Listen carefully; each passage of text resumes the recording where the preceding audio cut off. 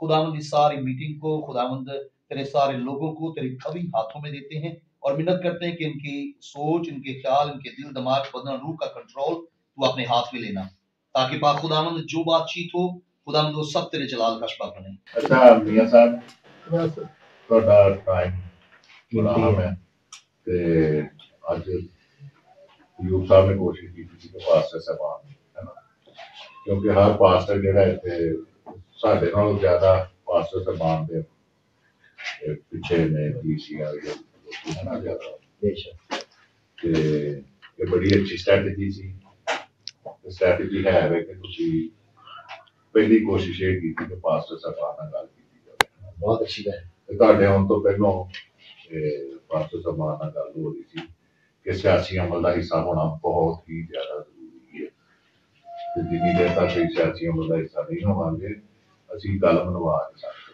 ਹੈਨਾ? ਤੇ ਤੁਸੀਂ ਵੀ ਹਰਪਾਲ ਸਾਹਿਬ ਨੂੰ ਸਾਰੇ ਜਾਣਦੇ ਜੀ ਇਹਨਾਂ ਦੇ ਮਨਾਮ ਸਾਹਿਬ ਮੇਰੇ ਪਿਓ ਬਜ਼ੁਰਗ ਸਮਝ ਲਓ। ਤੇ ਪਹਿਲਾਂ ਸਾਡਾ ਹਲਕਾ ਵਾਲਸਪੁਰਾ ਜਿਹੜਾ ਸੀ ਇਹਨਾਂ ਦੇ ਨਾਲ ਸੀ।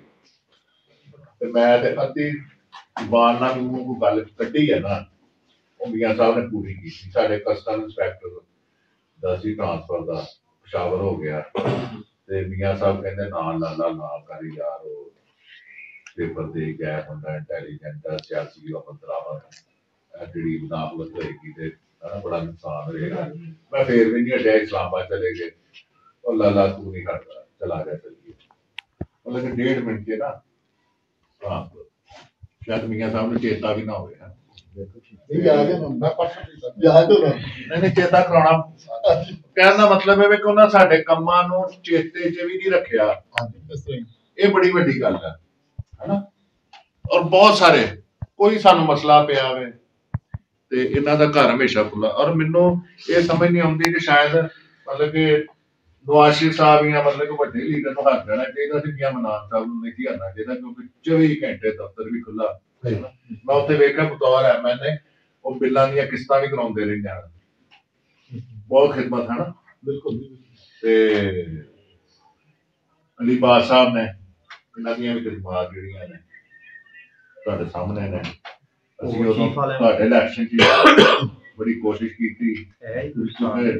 ਅਸੀਂ ਮੈਂ ਨਾ ਮੁਸਲਿਮ ਨੂੰ ਮੈਂ ਆਪਣੀ ਜ਼ਿੰਮੇਵਾਰੀ ਸਮਝੀ ਕਿ ਉਦੋਂ ਵੀ ਤੁਹਾਡੀ ਇੱਥੇ ਆ ਹੁੰਦੀ ਤੀਨ ਨੰਬਰ ਗਲੀ ਵੀ ਸਾਰੀ ਹੈ ਸਾਰਾ ਆਹ ਸਾਰਾ ਸੀਨਾ ਤੁਹਾਨੂੰ ਸਾਰੇ ਰੇਸ ਸਾਡੇ ਨਾਲ ਕਿਉਂਕਿ ਤੁਹਾਡੇ ਨਾਲ ਅਸੀਂ ਮਿਲੇ ਨੇ ਤੁਸੀਂ ਕੋਲੋਂ ਵੀ ਲੰਘਦੇ ਰਹੇ ਤੇ ਸਾਨੂੰ ਖਵਾਇਆ ਪਿਲਾਇਆ ਨਹੀਂ मंजूर साहब का अयूब साहब का जिन्होंने बहुत तगोदो करके और सारा दिन हर एक को फोन कॉल करना और उन्हें यहाँ पर दावत देना और प्रोटोकॉल देना सबसे पहले इनके लिए तालियां बजाइए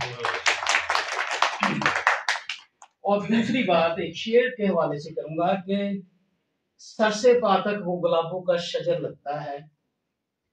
सर से पातक वो गुलाबों का शजर लगता है, बावजू होकर भी छूने से डर लगता है। मैं तेरे साथ सितारों पर सफ़र कर सकता हूँ, कितना आसान मोहब्बत का ये सफ़र लगता है। ये एक मोहब्बत का सफ़र है कि हम एक दूसरे के साथ जुड़े हुए हैं। और मैं एक रिक्वेस्ट मियाँ इरफान साहब से भी करना चाहता हूँ राना अलीबाद साहब से भी करना चाहता हूँ कि जब भी कोई खादम, कोई ये आपको पता चल जाए कि पास्टर साहब कोई आए हैं, उनका कोई काम है, पहली बात तो ये नजायज काम करते ही अगर आपके दफ्तर में पता आपको चल जाए, आपके किसी वर्कर के ज़रिया से कि जनाब फलां पास्टर साहब आए हैं तो मेरी रिक्वेस्ट है कि आप सबसे पहले उनको प्रोटोकॉल जरूर दिया करें ਬਸ ਇਹ ਆ ਕਿ ਚੰਦ ਇੱਕ ਸਾਡੇ ਮੁਤਾਲਬਾਤ ਨੇ ਆਉਣ ਵਾਲੇ ਵਕਤ 'ਚ ਖੁਦਾ ਕਰੇ ਕਿ ਰਾਣਾ ਸਾਹਿਬ ਐਸ ਟਨੋਰ ਦੇ ਵਿੱਚ ਜਿੱਤ ਕੇ ਤੇ ਵਜ਼ੀਰ ਆਲਾ ਪੰਜਾਬ ਬਣੇ ਔਰ ਖੁਦਾ ਤੁਹਾਨੂੰ ਕੋਈ ਵਫਾਕੀ अच्छी सीट देवे गुजारिश ये है कि मुझे आज ना बड़ी पसंद आई है लाहौर रोड की बातें सीधी सीधी जट की और हकायक पे मबनी हकीकत से करीब था। लाला जी सच्ची बात तो यही है। मैं अपने दोस्तों में बैठ के अक्सर कहता हूँ कि सबसे बड़ा मज़हब जो है वो इंसानियत जो आपने बात की है ना जितने लफ्ज की तो सबसे पहले कदम चाहे कोई गरीब आदमी चाहे कोई अमीर आदमी चाहे कोई ताकतवर आदमी चाहे कोई लाचार आदमी या कमज़ोर है। लेकिन इज़्ज़त नफ्स सबकी एक जैसी वो कभी भी मजबूर नहीं होती कोशिश की है एक ही माटो है इज़्ज़त करनी और इज़्ज़त अच्छे। ना वो वाली चीज़ पसंद है टर्न टू टर्नैली वाली ना बदमाशी वाले कल्चर को पसंद की है ना कभी प्रमोट ना कभी किसी गलत बंदे की सिफारिश की है। आप अपनी कम्युनिटी से पूछ सकते हैं जिस जिसने मुझे अप्रोच किया है और वो हक पे है तो ऐसा तो उसे लड़ाई करके छुड़ाया कर सकते नहीं गलत है। उसकी ताज़ा मिसाल सुहेल थानेदार ने एक बच्ची से ज्यादती की महाराज हाँ हाँ हाँ मैंने कहा दरखास्त दी मैं कोई मुद्दई बने इस पे पर्चा कराता हूँ। आबद ज़फ़र डीएसपी जड़ा वाले को फ़ोन किया कि ये राना सुहेल और गजनी जो तेरा थानेदार है ना इसीलिए ये हरकत की है क्योंकि ढाई मरले के प्लाट के कागजात भी ले गया है दो दिन के अंदर वापस ना हुए तो इस पे पर्चा होगा। तो वापस गए उस बच्ची के घर। कागज़ देखिए बात फिर वही है जिसने अप्रोच करना है जिसने जाके बताना है कि ये मसला है। वो ना हल हो लाला जी बिल्कुल गिला है। फिर बिल्कुल हम इस बात के हकदार नहीं है कि हमें वोट दिया जाए। जिस बंदे ने हमें अप्रोच कर लिया मिल लिया अगर उसका काम जायज़ है वो नहीं किया तो फिर हम देनदार हैं। हमने उनको आए को इज़्ज़त ना दी होगी मेरे पास जाते हैं दोस्त बहुत सारे आते हैं।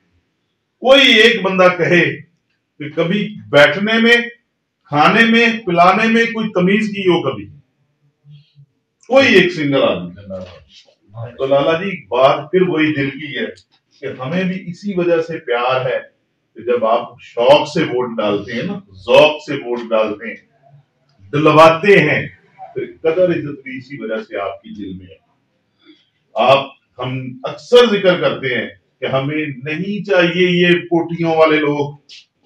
हमें वो मोहल्ले चाहिए जो जाते हुए आपको इज़्ज़त भी देते हैं, वोट भी देते हैं।